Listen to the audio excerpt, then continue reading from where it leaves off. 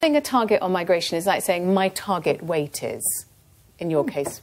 Oh, I knew you'd get personal. you see? What's That's your it. target weight? You gutter journalists always have to get personal like That is that. your target weight. more- You're not going to necessarily drop your target weight, but you're not necessarily going to make your target weight, are you, Nick? No. In the, over the course of the next Parliament. No. So maybe we've got to accept that she has to say this to to placate this, yes. the right wing, the people who voted for Brexit on the idea that we can, were going to can have I just say it's not just to migration. placate the right wing either. It's, it's to placate people in towns and cities who have been affected Sure. by mass I- immigration. But there I is have a- let you have but that. there It's is- not- well, but they are going to have a problem, aren't they? Because if you put a number and say that's what we're going to do, and then you don't meet it, you're back into the Yeah. same position again, and that's what's going to happen. But it all, yeah. But it was funny that David Davis himself, lead Brexiteer, said, we need migration.